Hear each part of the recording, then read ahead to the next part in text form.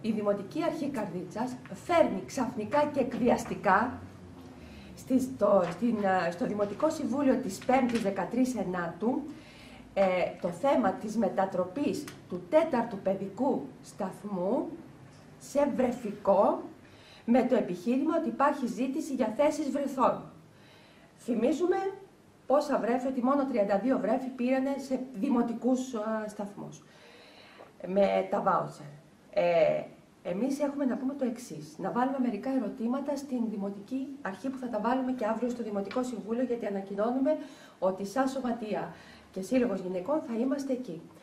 Δεν γνώριζε ότι υπάρχει η έλλειψη δημοτικών βρεφικών σταθμών. Είναι γνωστό εδώ και χρόνια το πρόβλημα. Γιατί δεν έκανε καμία κίνηση να ιδρύσει τέτοιους βρεφικούς σταθμούς, ε, ώστε να καλυφθούν οι ανάγκες; Και φτάνει τελευταία ώρα με εκβιαστικά διλήμματα. Τι να κάνουμε, πρέπει να πάρουμε τα βρέφη, να διαλύει ένα σταθμό.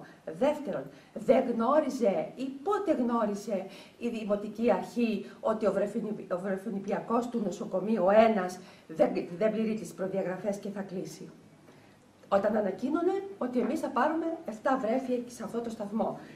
Τρίτον, διαλύει έναν άρτια εξοπλισμένο παιδικό σταθμό, πρέπει να σας πω. Προτείνει τα παιδιά να πάνε σε δύο άλλους σταθμούς, σε μακρινή απόσταση.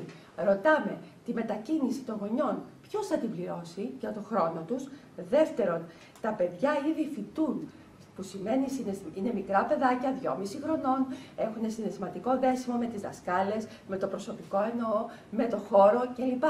Φεύγοντας και μισά από εδώ και μισά από εκεί, μετά από κάποιο καιρό, έτσι, γιατί δεν ιδρύθηκε, δεν τελείωσαν ακόμα βρεφικοί και ιστορίες, τα παιδιά θα συνεχίζουν να πηγαίνουν. Ε, τι θα γίνει, δεν το λαμβάνει καθόλου υπόψη σε αυτό. Και ε, δεύτερον, αφού παίρνει την απόφαση στο, παιδικό, αφού παίρνει την απόφαση στο δημοτικό σταθμό, κατόπιν, όπως ανακοίνωσε ο κύριος Αντινήμαρχο, μετά θα κάνει συζήτηση, λέει, με τους γονείς με δοσμένη την απόφαση. Έτσι τουλάχιστον ανακοίνωσε. Θα δούμε τι θα μας απαντήσει και αύριο. Εδώ να τονίσουμε το πονηρό της υπόθεσης, την εξοικονόμηση προσωπικού. Διαβάσατε πώς είναι η μόνιμη. Σε αυτό το προσωπικό που φεύγει υπάρχουν και μόνιμες. Επομένως, καλύπτει ε, άλλο προσωπικό που θα του λείψει.